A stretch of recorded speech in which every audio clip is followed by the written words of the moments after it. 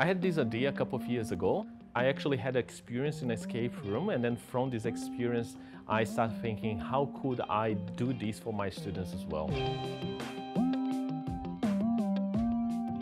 One of the main ideas of the escape room is to make them work as a team. They are preparing for the midterm, but this activity make them feel less anxious about this, so they can actually perform at their best. There's an R, right? Yeah. Yeah! okay, that's yeah, that's good. Guys, you are the first team who did three riddles. Congratulations. We have five different games. Each of them addresses different topics taught in the course. Students change from these passive listeners to participate more in the course.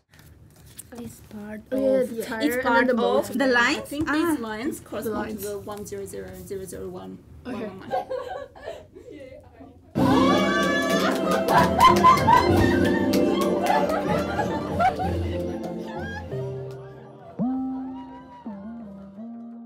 We receive all the support to be as creative as we can. I can do whatever activity that could contribute to the student experience.